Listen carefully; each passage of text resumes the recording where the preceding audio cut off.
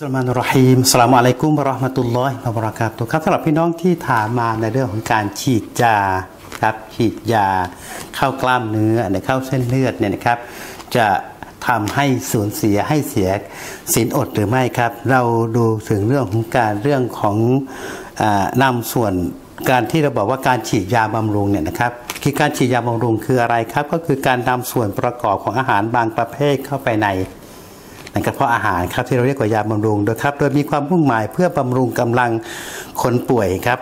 ทีนี้มันปรากฏว่าบางคนการกระทำทีนี้ทำให้เสียการถือสวดเพราะเป็นการกระทำที่คือการนำอาหารเข้าไป อันนี้ส่วนหนึ่งครับหากว่าฉีดยาบำรุงไปให้กับผู้ที่เป็นผู้ป่วยไข้เนี่ยนะครับจุดประสงค์ของการที่ฉีดเข้าไปเพื่อที่จะให้ผู้ป่วยได้มีกำลัง นะครับคือกรณีคนป่วยที่ที่ถือสินอดนะครับ แบบนี้เองครับก็จะทำให้การฉีดยาแบบลักษณะแบบนี้ ถ้าจุดประสงค์เพื่อความอิ่มเพื่อทำให้เกิดกำลังวังชานะครับ ยกตัวอย่างเช่น ฉีดให้น้ำเกลืออย่างนี้ก็ถือเป็นการเข้าไปในเส้นเหมือนกันไอ้อย่างเงี้ยไม่สามารถที่จะกระทำได้กรณีของคนที่ทำการถือสดฉะนั้นการถือสินอดของเขา ก็จะเป็นการถือสินอดที่สูญเสียการถือสินอดนะครับ แต่ในกรณีของการฉีดยาเพื่อที่จะให้ทำการรักษานะครับจะเข้าเส้นจะเข้ากล้ามเนื้อก็ตามเข้าเส้นเลือดก็ตาม โดยประมาณแบบนี้ไม่ทำให้เสียสินอดเพราะว่าฉีดยาเพื่อรักษาร่างกายอันเนี้ยได้นะครับ ไม่เป็นไรการถือสดก็ไม่เสีย แต่ถ้าหากว่าจุดประสงค์ฉีดเข้าไปแล้วทำให้เกิดความอิ่มในการฉีดเข้าไปนะครับแบบนั้นก็เป็นการเถียวสิ้นอดครับ แต่แนะนำนะครับว่าถ้าหากว่า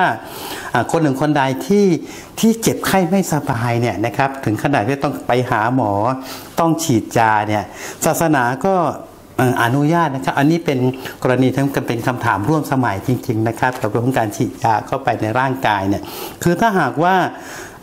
กรณีของคนไข้คนนั้น ถ้าหากว่าเจ็บป่วยไม่สบายถึงขนาดที่ต้องต้องฉีดยาไปโรงพยาบาลเข้าคลินิกเนี่ย ก็ศาสนาก็มีทั้งออกว่าณนะเวลานั้นก็ไม่ต้องถือศีลอดก็ได้ครับ เพราะเขาอยู่ในเงื่อนไขของคนที่มีอุปสรรคในเรื่องของร่างกายที่จะถือศีลอด ก็ไม่ต้องถือสดในช่วงนั้น แล้วก็ไปถือสดชดใช้ในเดือนต่อไปในเดือนอื่น แต่นี้มีคำถามต่อไปนิดหนึ่งว่า บางคนบางท่านบอกว่าถ้าหากไปถือสดชดใช้ในเดือนอื่นนะผลบุญคุณค่าจะเทียบเท่ากันได้ไหมกับรอมฎอนนะครับ อันนี้นะครับอุลมะพูดถึงเรื่องราวเหล่านี้ก็คือว่าผลบุญคุณค่านั้นไม่ยิ่งหย่อนไปกว่ากันไปกว่าการที่เข้าได้ถือโทษณเดือนรอมฎอนเพราะนั่นคือการถือศีลอดชดใช้ของผู้ที่เจ็บไข้ไม่สบายนะครับก็สรุปนะครับว่าหากว่าการฉีดยาเข้าไปในเส้น ในร่างกายนะครับในเส้นเลือดโดยประมาณนี้ครับในร่างกายของเราเนี่ยถ้าเป็นไปเพื่อความอิ่ม เป็นไปเพื่อทำให้เกิดความกระชุ่มกระชวยยกตัวอย่าง เช่นอย่างจะให้น้ำเกลืออย่างเงี้ยศาสนาไม่อนุญาตและการถือสินอดเขาก็เสียนะครับ แต่ถ้าหากฉีดเพื่อการรักษา